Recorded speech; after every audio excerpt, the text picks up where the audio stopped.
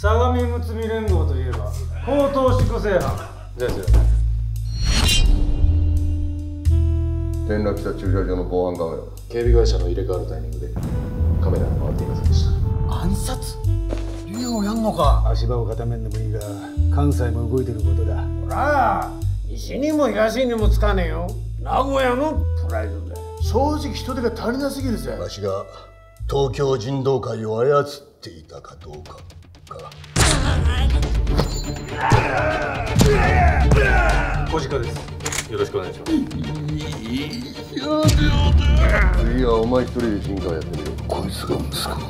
よそ者が名古屋をうろつきやすぐに奴らの囲ってる喧嘩集団が排除に乗り出す。名古屋に飛んでとっつぁん止めろそっちと合わせて7300円。7000おいもう一本飲んでいいか？